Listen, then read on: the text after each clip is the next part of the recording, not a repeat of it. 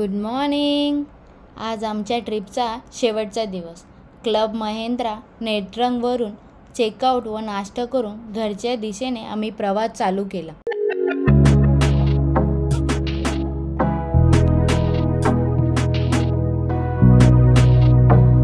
रस्त्यात रुपण मांडवी या ठिकाणी गुळाची गुऱ्हाळ होती.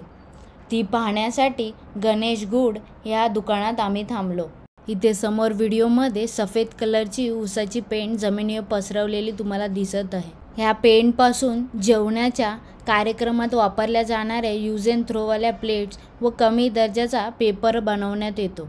चला तुम्हाला पण दाखवते कशी प्रोसेस असते गुळ बनण्याची. सर्वात प्रथम मशीनच्या साह्याने उसाचा रस काढण्यात येतो.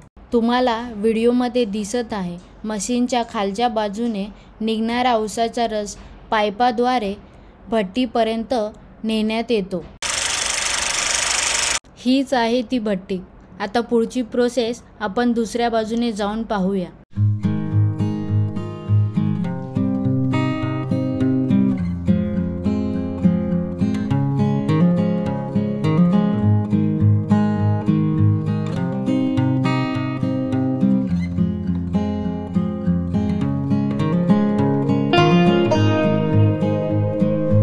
ही आहे भट्टी.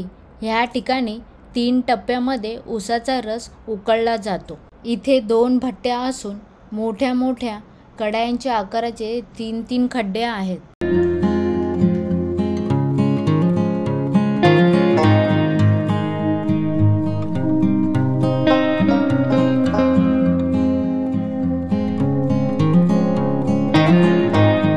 मग शेवटच्या टप्प्यामध्ये गूळ बनत आल्यावर ह्या ट्रेमध्ये घेतला जातो आणि बारा तास त्याला थंड केला जातो. मग डब्यांमध्ये भरण्यात येतो.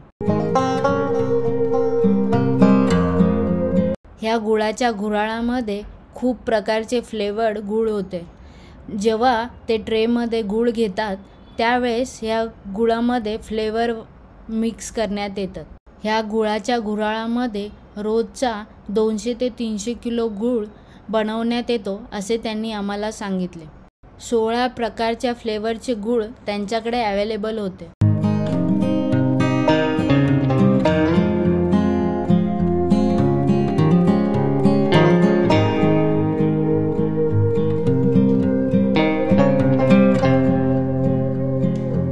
तुम्हाला जर या दुकानातले वेगवेगळ्या प्रकारचे गूळ मागवायचे असतील तर तुम्ही स्क्रीनवर दिसणाऱ्या पोस्टरवरच्या नंबरवर कॉन्टॅक्ट करू शकता.